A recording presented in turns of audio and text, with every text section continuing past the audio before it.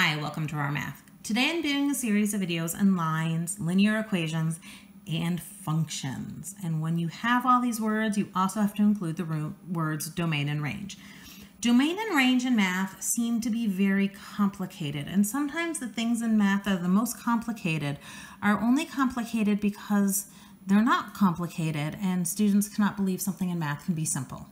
Domain literally means x values, my x values. My x values are negative 1, 3, negative 7, and 8.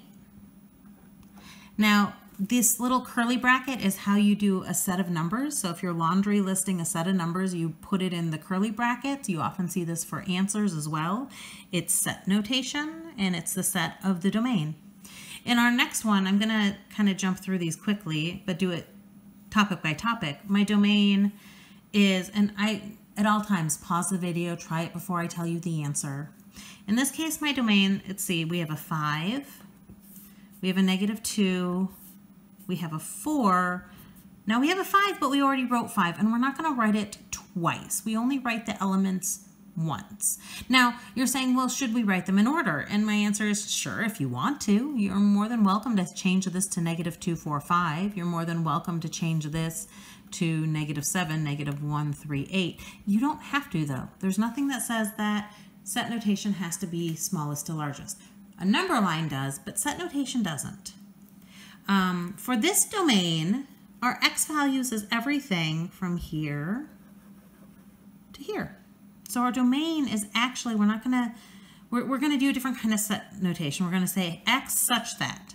That just means we're going to define x not as a laundry list, but as a description. This notation with this line says we're going to describe x. We're not going to list the finite elements because the elements are not finite.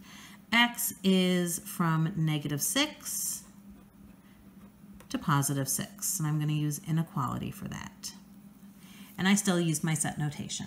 Okay, let's talk a little bit about range. Range translates to y values. So my y values are 2, 4, 2, I already have my 2 written, and negative 5. All right, again, pause, work ahead. My range on my second one is 6, 0, 4, and negative 5. And on my third one, my range value up and down, it's all of my y values. y exists in this graph everywhere between these two points. So again, I'm going to use this line. I'm going to say y such that, let's see, y starts at negative 2 and goes all the way up to positive 2. All right, so next we are asked about is this a function and why. So a function is a function if it the input leads to a single output. So if I make a little drawing, if I have a machine, um,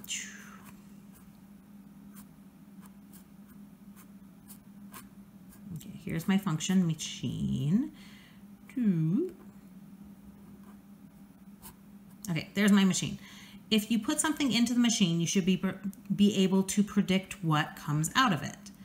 Now, if I put in, like a machine could be an oven, and if I put in a frozen pizza, I expect if my function is working, my oven is working, to get a cooked pizza out of the other side.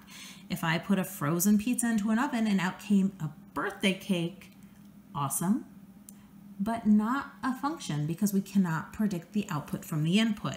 So in terms of math, if all of your input, and your input is your domain, if all of your domain values are unique, you have a function. So this one is a function. Why? Because all inputs, or x values, if you would rather, are unique. For this one, 5, 5. This is not a function. Why? Because x equals 5 repeats. That's the very direct answer. Or you can say inputs are not unique. It's really just that simple. If your x values are all different, it's a function. If your x values repeat, it's not a function. We do not look at range at all. We do not care that the range has two twos. That's not an issue for us. What is an issue is if the inputs repeat. We should be able to predict the output from the input. And many inputs might have the same output. That's fine. But a single input should not yield multiple outputs. For this one, this one is not a function. Um, and it's really fun with a graph because you test with something called the vertical line test. The vertical line test says if you can draw a vertical line that hits your graph in two spots, it is not a function. So for this last one, it is not a function. Why? Because it doesn't there's an E doesn't pass the vertical line test, which my students usually say VLT, and don't worry about any of those other words in there. All right, I hope you've enjoyed the video. Please subscribe to my YouTube channel, like my Facebook page, and I'll see you on the next video. Thanks.